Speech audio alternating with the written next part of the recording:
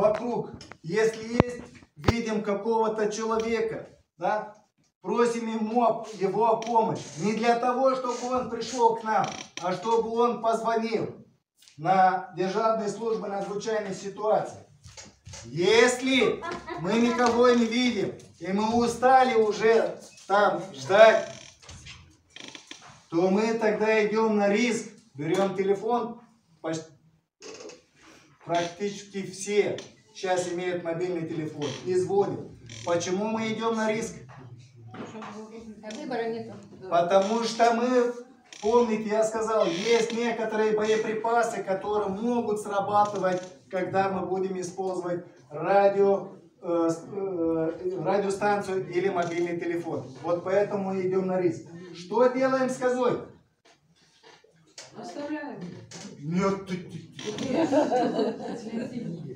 Вместо козой может быть любое животное, домашнее животное. Держим ее при себе. Почему? А, чтобы лишнего движения не было. Правильно вы говорите, потому что мы не знаем, что там. А если вдруг там какая-то растяжка или что-нибудь другое? Мы не знаем, какая будет сила этой взрывной волне. Мы не знаем, какая цепная реакция будет. Поэтому животное держим при себе. Самый тяжелый сценарий, который случай, когда мы на дороге видим на минном поле человек, который пострадал уже от того, что он не знал или не знаю по каким причинам не соблюдал меры безопасности. Опять останавливаемся, успокоимся, глядим вокруг, понимать, что там случилось. Да? Ни в коем случае не заходим на минное поле, то есть не приближаемся к пострадавшему. Немедленно звоним кому? 101. Державная служба надзвычайной ситуации Украины. После этого звоним кому? Скорой помощи. 103. Сперва помните, Державная служба надзвычайной ситуации, и только после этого мы звоним скорой помощи. Скорая помощь, если придет, он никак не поможет того пострадавшего без МЧС. И до ихнего прихода мы поддерживаем человеку разговором на тот вопрос, который может быть у некоторых из вас есть. А что делать, если там мой человек? Я вам скажу, что делать. Если в таком случае у него есть шансов хоть 50% выжить, если вы зайдете там, и не дай бог, вы ляжете рядом с ним, потому что я вам говорил, где одна мина, их там очень много, то тогда у вас будет 50%, а у него уже близко к нулю. На следующий вопрос, который, может быть, вас мучает или есть. А что бы вы сделали? Скажу честно, не знаю. Не знаю. Все равно в таких ситуациях многое не вспомнишь. Знаете, как паника охватывает. В таких ситуациях надо думать. Поэтому всегда мы говорим, остановился и успокоился. Поэтому надо принимать решение с их холодной головой, если я могу так выразиться. Так выглядят саперы с нашей организацией, которая работает на территории Украины. Прошу, если вы видите их, что они работают там в поле, ни в коем случае не подходите к ним. Там опасно. И с вашим поведением вы им только мешаете, ставите вашу жизнь под угрозу и ихнюю тоже. Да? Угостите их холодной водой, потому что на улице плюс 40, и они работают в бронежилетке и ткаске. Или сказать спасибо. Не надо. Если вы их видите на главную дорогу, где они отдыхают, тогда можно к ним подойти и сказать все, что вы хотите. А когда они работают, нельзя. Это все, что примерно, что они используют под, э, подручные средства для маркировки. Что значит это? Кто знает? Да никто не знает. Они знают. Все это опасно. Не надо там заходить. Или Как был случай между Луганской и Донецкой областью, они работали целый день, ставили вот эти колышки. На следующий день пришли, ни одного колышка не было. Слава Богу, что там пострадавший не был. Слава Богу. Но в хозяйстве все пригодится. Но тот человек поставил свою жизнь под угрозу.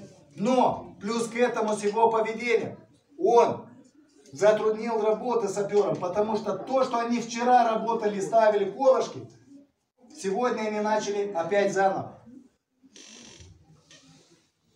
Или собрать такие камушки, потому что они очень крашеные, да? И сделать клумбу возле дома нельзя. Там опасно. Самое главное сообщение. Если вы видели мину или боеприпас, не трогать, не подходить, позвоните по номеру 101, Державной службы надзвычайных ситуаций. От себя лично я вам я добавлю. Если вы не, не оставили тот предмет там, то тогда не трогайте. Вы богаче не будете, зато будете целее. Вы и ваши родственники, и ваша семья. Не надо. Если, оп, извините, если вы там не оставили, то не надо его трогать. Мы оставили уже больше. Свои дома. Здесь есть номер телефона. Это номер телефона горячей линии помощи пострадавшего от взрывоопасных предметов. Он очень важен. Почему? Сейчас мои коллеги вам раздадут маленькие э, буклеты, и он есть там. Закон Украины поменялся, если я не ошибаюсь, где-то полтора года назад, где врач, врачи обязаны ставить диагноз, что человек пострадал от взрывоопасных предметов. Если вы знаете таких людей, которые пострадали, и они не получили никакой помощи, и он нуждается в помощи, то он может обратиться по этому номеру теле- телефона. И ему посоветуют или скажут, где он может обратиться для помощи. Есть многие международные организации, неправительственные э, организации, которые оказывают помощь таких людям. Поэтому, если вы знаете кого-то, то можете обратиться по этому номеру телефона. Вот этот QR-код, вы входите на сайт StopMina, проходите примерно тот же самый курс. Но там, что интересно, что он тоже по разным возрастных категориям. То есть есть для детей, есть для подростков, которые очень любопытные, и они все знают, и старших не слушают, потому что они думают, что они все знают. И для взрослых. Он есть на русском. Вам выдают для того, чтобы вы можете показать, что я уже прошел это обучение. Но как меня спросили, и что еще он тебе дает? Больше ничего. Знание. Знания. Спасибо.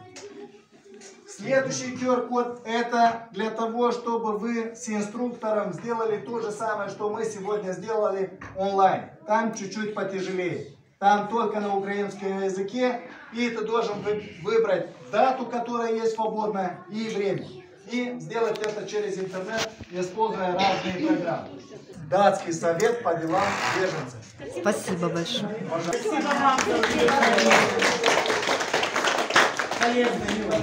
Очень Ну важно. и как мой кол- коллега говорит, Эдгар всегда, Давай уже сам спасибо вам огромное. Вы очень прекрасная публика. Спасибо вам.